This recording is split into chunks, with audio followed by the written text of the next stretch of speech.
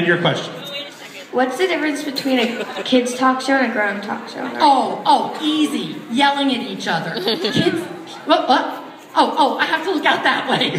We know what you look like. the difference between a kids talk show and an adult talk show is basically yelling and the lack thereof. On a kids talk show, we talk about stuff and we talk about, you know, movies and, and siblings and, and really cool stuff. And when I used to do grown-up talk shows long, long ago, um, people wound up yelling at you a lot. So I really prefer doing kids talk shows. And I know she also has a follow-up. Oh, What is the most interesting question that a kid is asked on the show? the most interesting question. What what do you think?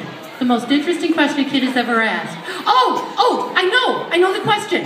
I apologize to anyone who just had breakfast, okay? Most interesting question I ever got in 25 years of Kids Corner is if you eat different color foods, will you throw up different colors? Thank you. For that, I got a Peabody Award. What was the answer? Uh, I The forget. answer was yes. Was it yes? it was. Oh, you will. How about that? See? Already it's educational radio. A round of applause for you. Asha. Thank you very Thanks much. a lot.